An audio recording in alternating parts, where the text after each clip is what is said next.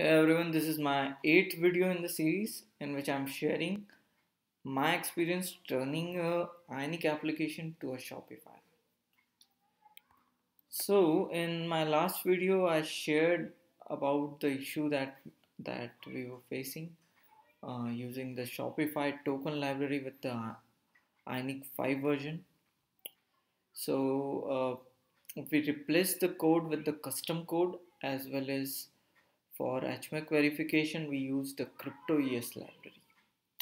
So today I migrated those changes to the Ionic 3 app uh, for having a consistency in both the applications. And it was quite a smooth uh, way. So we are able to get both the applications running. Now this completes our first phase of implementation where we picked up two of the Ionic applications and we might uh, uh, we uh, make some changes to it. We did some implementation and uh, we were able to use them to a Shopify.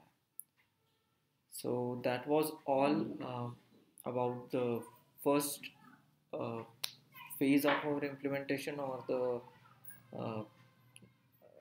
for the uh, first series of our uh, implementation and uh, I hope you all liked it.